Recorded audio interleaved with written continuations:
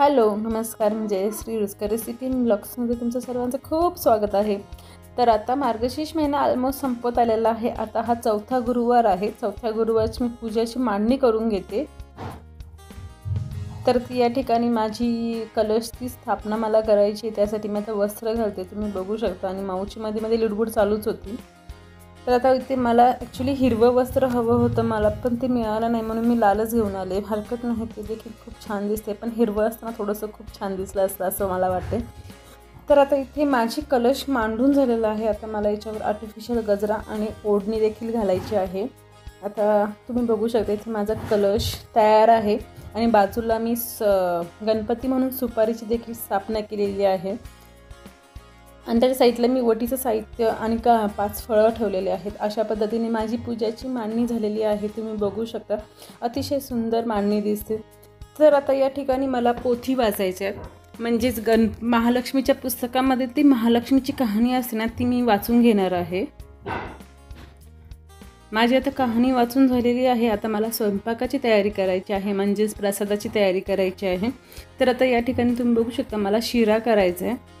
Actually मला आठवतं लहानपणी ज्यावेळेस माझी आई उपवास धरायची म्हणजे मार्गशीर्ष महिन्यातील उपवास धरायची त्यावेळेस आम्ही ना प्रसादासाठी शिरा करायचो.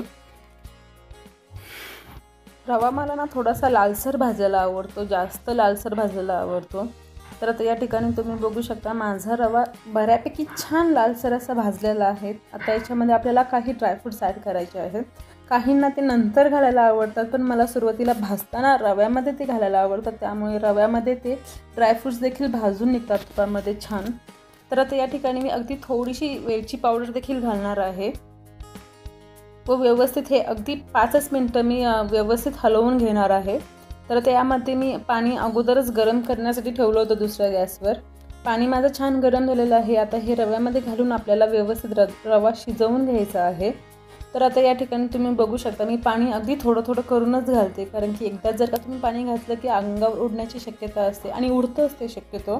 त्यामुळे अगदी थोडं थोडं करूनच पाणी घालायचं आणि व्यवस्थित हलवून घ्यायचं आहे. या ठिकाणी पाणी माझं छान आटलेलं आहे आणि रवा देखील छान शिजलेला आहे. याच्यामध्ये आता मला चवीनुसार साखर ॲड करायची आहे.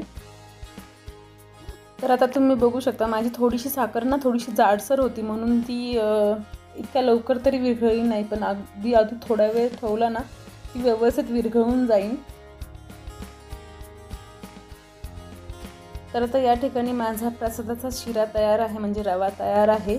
आता हे मी बाजूला ठेवून देते आणि स्वयंपाकाची तयारी करून घेणार आहे. मला कुकर लावायचं ॲक्च्युली म्हणजे डाळ भात लावायचा आहे. त्यासाठी मी डाळीमध्ये अगोदरच टोमॅटो आणि मिरची घालून घेते म्हणजे मला फोडणी द्यायची गरज लागत नाही. आणि शक्यतो आम्ही फोडणी दिलेली वरण कमीच खातो. ॲक्च्युली इथं ना माझं स्वयंपाकाचं पाणी संपलं होतं. म्हणजे हंडा संपलेला होता. एकच हंडा मी शक्यतो भरून ठेवते.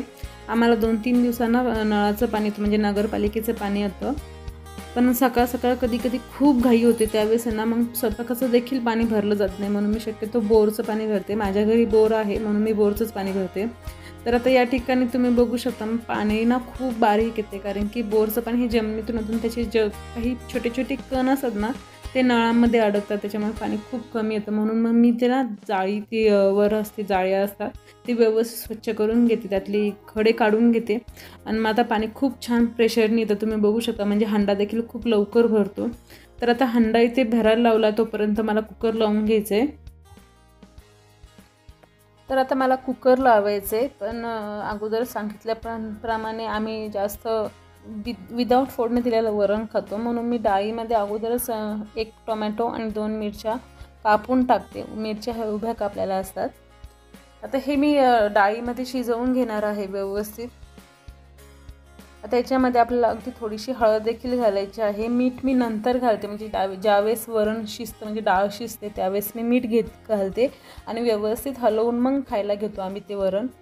आता इथे माझं कुकर लावून झालेलं आहे तुम्ही बघू शकता. त्याचबरोबर चहा देखील पिऊन घेते. आणि इथे गिलकी दिलेले आहेत आमच्या शेजारच्या मावशीने मला अगदी झाडाचे त्यांच्या वेलीचे तोडून दिली होती गिलकी. ते तुम्ही बघू शकत असाल. थोडंसं समोर फुलं देखील दिसतात. ते खूप कवळे गिलके होते. त्याचे म्हणलं भजे करूया. त्यासाठी मी भज्यासाठी ना थोडेसे दोन अगदी चार चम्मच बेसन पीठ घेतलेलं आहे. त्याच्यामध्ये चवीनुसार मीठ ॲड करणार आहे मी. त्यानंतर अगदी थोडीशी हळद. नंतर मग मला थोडंसं ओवा घालायचं आहे ओवा मी असाच हाताने म्हणजे बोटाच्या हाताच्या साह्याने करून घालणार आहे. त्यानंतर मला याच्यामध्ये कोथिंबीर मी बारीक कापून घालणार आहे. कोथिंबीर घालून झालेली आहे. आता याच्यामध्ये तुम्हाला हवं असेल तर तुम्ही हिरव्या मिरच्या बारीक वाटून घालू शकता. पण मी इथे थोडंसं तिखट घालणार आहे. म्हणजे लाल मिरची पावडर घालणार आहे. ही माझी घरीच केलेली लाल मिरची पावडर आहे. ही व्यवस्थित घालून आता मी व्यवस्थित हलवून घेणार आहे बॅटर. इथे आपल्याला आपण बटाट्याची भजी करतो म्हणजे कापाची भजी करतो. त्याच पद्धतीने आपल्याला इथे गिलक्याची भजी करायची आहे. तर बॅटरसुद्धा तसंच हवं. अगदीच जास्त घट्ट किंवा अगदीच पातळ नसावं. अगदी मीडियम असं त्याचं बॅटर असावं. या ठिकाणी बॅटर व्यवस्थित मिक्स करून घेते मी तुम्ही बघू शकता. आणि माझं कुकर देखील म्हणजे कुकरच्या शिट्ट्या देखील चालू आहे. बॅटर तयार आहे हे आता पंधरा मिनटासाठी मी तशीच बाजूला ठेवून देणार आहे.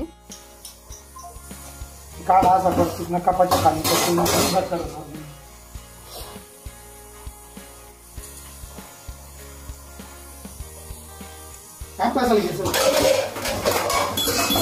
थोडा असलं ना काय कसं होतो काय करणार म्हणजे काय होतं माहितीये का?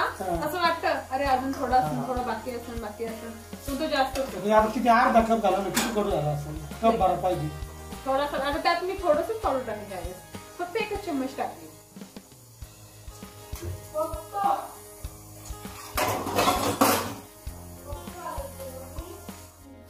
त्यांची माझी अशी चालू असते. ऍक्च्युली त्यांनी मला काढा सांगितला होता बनवायला. तो माझ्याकडून थोडासा कमी झाला. म्हणजे जास्त आटून गेला. आता इथे मला भजे करायचे त्यासाठी मी गिलके अशा पद्धतीने काप करून घेणार आहे गिलक्याचे. खूप कवळे गिलके आहेत तुम्ही बघू शकता. अगदी सहज कापले जातात. आणि ह्याचे भजे ट्रस्ट मी खूप छान लागतं. तर आता तेल मी अगोदरच गरम करण्यासाठी ठेवलं होतं.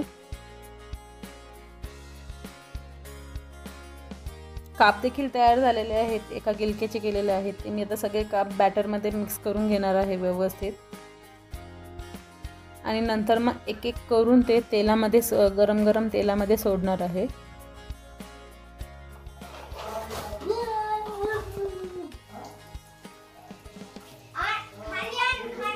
तेल तुम्हाला थोडंसं ना फेसायला दिसेल कारण की ना शेंगतेल होतं.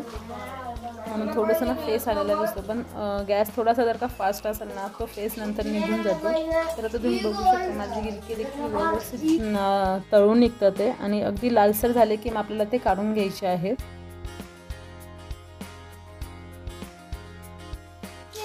छान लागतात हे गिलके वरून कडक बॅटर असतं त्यांच्यात ओवा किंवा तेल वगैरे काहीच टाकलेलं नव्हतं. म्हणून थोडंसं कडक बॅटर होतं. आणि आतमध्ये खूप सॉफ्ट असतात हे गिलके म्हणजे त्याला पाणी सुटतं त्याच्यामुळे आतमध्ये खूप नरम होतात.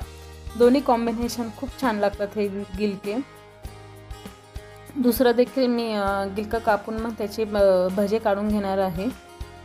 आता इथे माझा स्वयंपाक तयार आहे. तुम्ही बघू शकता. इथे मी नैवेद्यासाठी ताट ताट तयार करून घेते.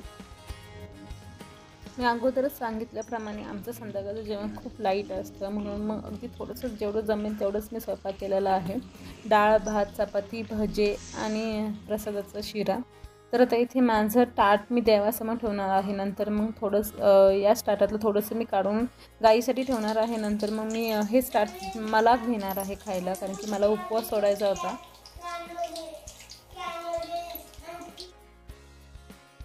तर आजचा व्हिडिओ मी येथेच एंड करते. व्हिडिओ आवडला असेल तर लाईक करा शेअर करा. आणि चॅनलला अजून पण सबस्क्राईब नसेल केलं तर प्लीज सबस्क्राईब करा. भेटूया पुढच्या व्हिडिओमध्ये तोपर्यंत बाय बाय